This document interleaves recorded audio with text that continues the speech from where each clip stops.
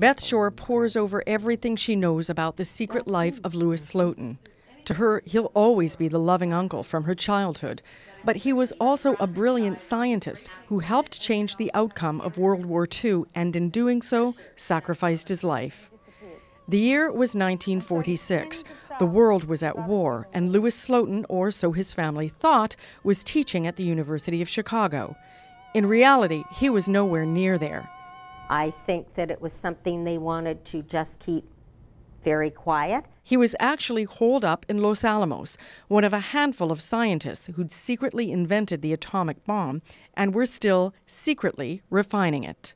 If any one of them probably had leaked anything, it could have been, they could have been shot. And so the facade continued until one day it blew up in his face. Slotin was doing an experiment he called tickling the dragon's tail. He'd done it countless times before.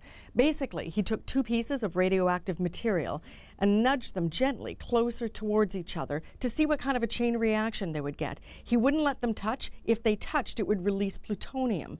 Well, one day his hand slipped and they did touch.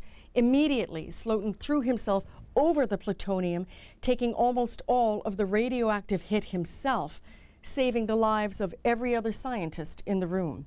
He felt that it was his mistake and he had to rectify it, and that was the only way he could. It had to be instantaneous. As soon as he saw what was happening, he threw his body on it. Slotin slowly, painfully succumbed to the radiation, refusing painkillers so he could offer one last gift to science. For the days that he was coherent, four or five days, he was giving them medical information about what was happening to him so that someday maybe they could find a cure for it. He died seven days later. His corpse, still radioactive, was returned to Winnipeg in a casket lined in lead. Today, the world now knows what went on and what he did. Today, he's nominated for being one of the greatest Manitobans. Donna Carreiro, CBC News, Winnipeg.